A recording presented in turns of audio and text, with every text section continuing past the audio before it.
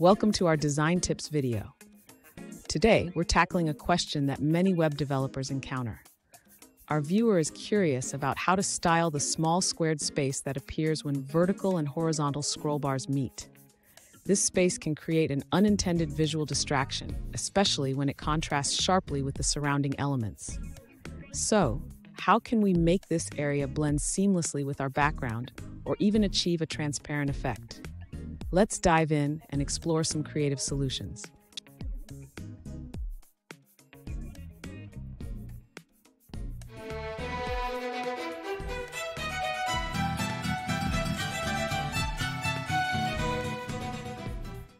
Welcome back to another technical video. Today we're going to be going through your question, answering it, and hopefully getting you to that solution. Guys, remember to stay just a little bit crazy just like me and get through to that resolution. Now, let's get started. To style the small squared space between vertical and horizontal scroll bars, we can use CSS. This area is often referred to as the scroll bar intersection.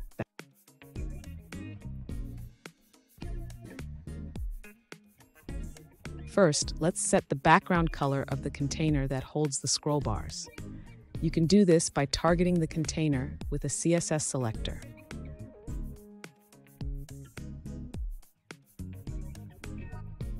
Next, to make the intersection area transparent, you can set the overflow property of the container. This will help in blending the scroll bars with the background.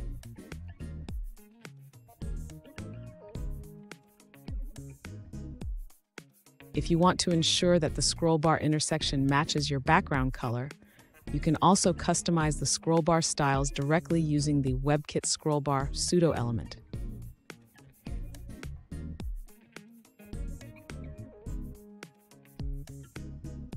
Finally, test your changes in the browser to ensure that the scroll bar intersection blends seamlessly with your design.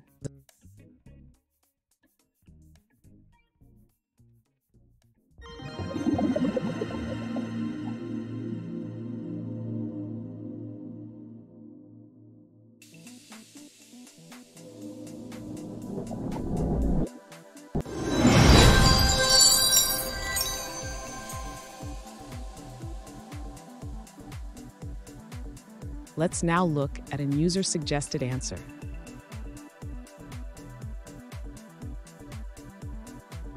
To style the small corner space between vertical and horizontal scroll bars, you can use the class called WebKit Scrollbar Corner. Setting its background color to transparent will leave it empty, but for a seamless look, match it to the background color of WebKit Scrollbar.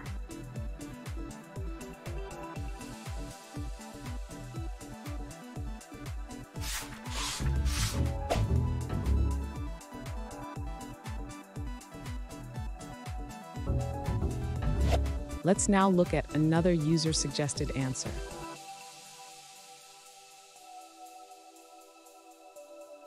To style the space between vertical and horizontal scroll bars, you can use specific CSS code.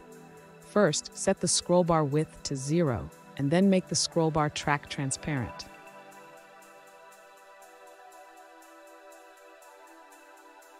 And that's it. I hope that helped find the resolution that you're looking for. If it did, please hit subscribe. I really appreciate it. And until next time, I hope you have a good one. Cheers.